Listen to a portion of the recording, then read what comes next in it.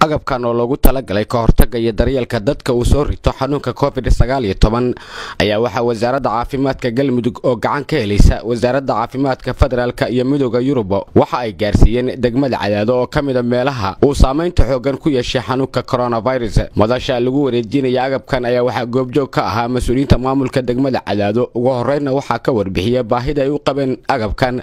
Madaxa caafimaadka degmada cadaado doctor cabdi xasan cali waxaan rabnaa inaan halkan ka cadeyno insha allah tacaala gargaar ama ama ama agab naga soo gaaray wasaaradda caafimaadka galmudug oo kaashanaysa hay'ada midooda yurub ka tirsan. Waxaa naga soo gaaray oo maaragtay alaabtaas ka mid ah waxaad ujeedaan dhabarkeena ka muuqdo joodarayaal ilaa laba boqol iyo konton gaaraya iyo agab gacamo dhaqashada lagu talagalay sida alaab lagu farsameeyey gudaha dalka iyo shaambooyinkii ama disinfectantigii lagu talagalay gacmaha in lagu dhaqdo alaab iyo gloves iyo maskigii lagu talagalay afka in lagu xidho lagu xirto agabkaas ayaa naga soo gaaray. Waxaan rabnaa inaan uga mahad celinno agabkaas ciddiina soo gaarsiisay oo ah wasaaradda caafimaadka iyo hay'adaha midooda yurub hay'ada ka tirsan.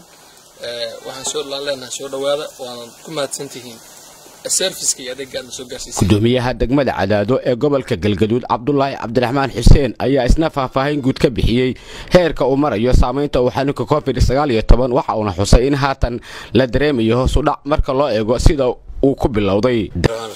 Alxamdulilahi rabbilcaalamiin wasalaatu wasalaam calaa rasuulillahi sal alay wasalam ilahay ayaan mahad celinaynaa sida aan u wada jeedno halkan waxaa taalla alaab ayna soo gaarsiiyey wasaaradda caafimaadka galmudug iyo midooda yurub iyo dowladda federaalka intaba ay ku leedahay.